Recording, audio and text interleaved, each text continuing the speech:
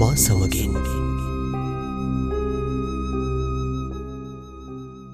පියාදර ප්‍රමාන්ත සහෝදර සහෝදරයනේ අද අප්‍රේල් මාසි පස්වනිදා අද ගොබ්බිරිදා සාමාන්‍යයෙන් අද දවසේ අපගේ සාන්ත සභා ලොකු වත් පිළිවෙතක් තියෙන සම්ප්‍රදායක් තියෙන ඉටු කරන්නට උන්වහන්සේ ජයශ්‍රියන් ජෙරුසනමට ආපු ඒ රාජකීය භාවය හඟවනවා.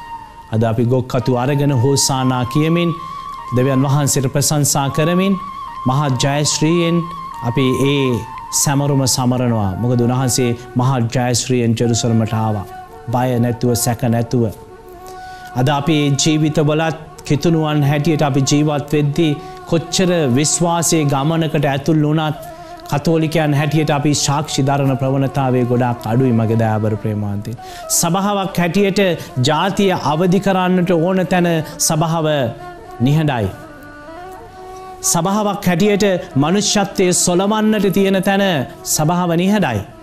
සමහවිට ලැබෙන දේවෙන්වට පුළුවන් සමහයට නායකත්වය වෙනුවෙන් වෙන්න පුළුවන් සමහයට තමුන්ගේ දේවල් නැතිවෙයි කියලා වෙන්න පුළුවන් සමහයට ජීවිතය අහිමිවෙයි කියලා වෙන්න පුළුවන්. සභාවක් කියන්නේ එක පරිපාලනය පමණන්න මේ සමස්ත සභාවම.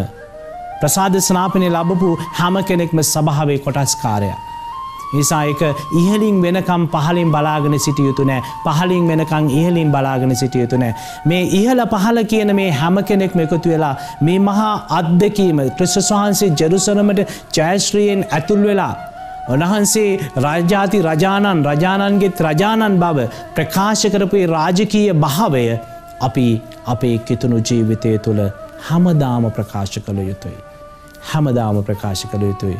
එසේ නොවන්නේ නම් යම් දවසක අපේ හදබත අපිට කතා කරනුව. එන්න ගන්න ගන්න